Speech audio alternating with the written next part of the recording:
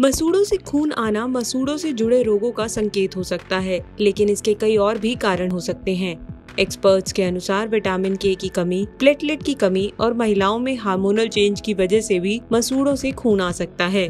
तो आज हम आपको बताएँगे कि मसूड़ों से खून निकलने की समस्या को आप कैसे कम कर सकते हैं। अगर आपके मसूड़ों से खून आता है तो सबसे पहले अपना टूथब्रश बदलें। अगर आपका टूथब्रश हार्ड है तो उसकी जगह पर आप नरम बालों वाले टूथब्रश का इस्तेमाल करें। इससे आपके मसूड़ों से खून निकलने की समस्या कम हो सकती है। एक बैलेंस डाइट वो है जिसमें हर तरह के फूड्स मौजूद होते हैं। आप एक डाइटिशियन से कंसल्ट करें और एक ऐसी डाइट लें जिसमें विटामिन कैल्शियम और कई और न्यूट्रिएंट्स हों। ऐसा करने से डेंटल प्रॉब्लम दूर हो सकती है।